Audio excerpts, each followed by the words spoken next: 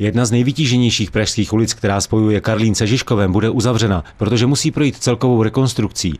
Vzhledem k velké intenzitě současného provozu a k tomu, že pro provedení stavebních prací musí být Husická ulice zcela uzavřena, připravila technická zpráva komunikací hlavního města Prahy i objízdné trasy. Jedná se o kompletní rekonstrukci, kdy, kdy dojde k absolutní přestavbě této ulice.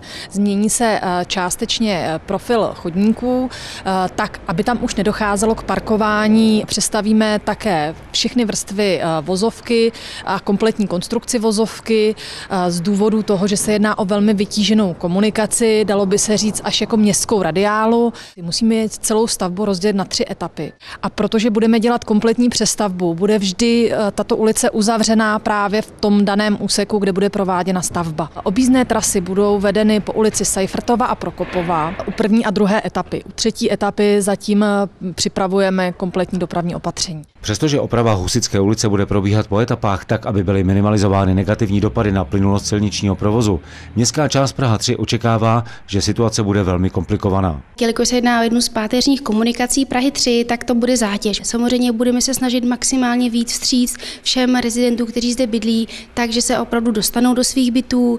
Eh, pokud jde o obchody, bude ve spolupráci se stavbou umožněno zásobování v nějakém režimu. S městskou policií i se státní toho co koordinujeme, máme připraveno různé opatření, ale to vše budeme koordinovat na základě toho aktuálního stavu. Celková rekonstrukce Husické ulice v Praze 3, která bude zahájena 12. března, je naplánována na 270 kalendářních dní. To znamená, že dokončena by měla být na konci listopadu letošního roku. Milan Řepka, Televize Praha.